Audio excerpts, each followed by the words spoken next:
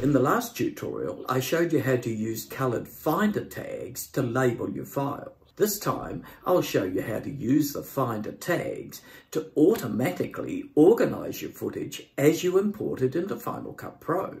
My name's Bruce, and if we've met before, welcome back.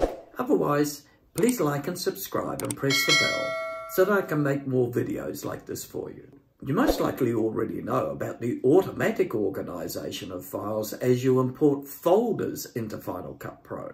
It's not so obvious when you use Finder tags, but first let's see what happens when you nominate folders as the way to import files into Final Cut. I've created a new library. I'm going to import some footage using the folders selection in the import window. Select import. In the right hand column, make sure keywords from folders is ticked.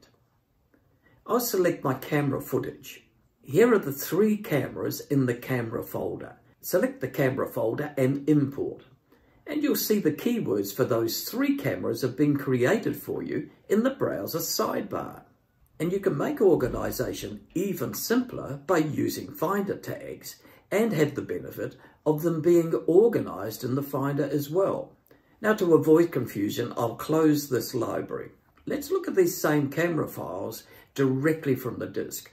I've got three tags already set up in the Finder preferences. And I showed you how to do that in the last tutorial. Click the link above to see that tutorial. You can see the footage from the three cameras, gimbal, Panasonic and upstairs camera. If you use tags in the Finder, these would already be labelled. I'll show you why you'd use tags in the Finder in a minute. Select all the gimbal files, right click and add the gimbal tag.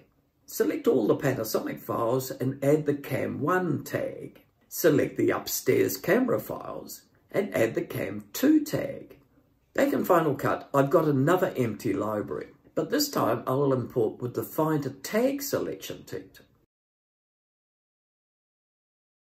And the three keywords have automatically been created for you. So why would you use tags in the first place?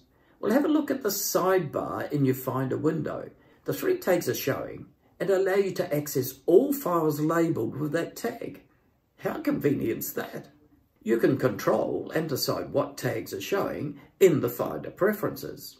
It's no doubt that Final Cut Pro can do a lot, but you do need to know how to use it.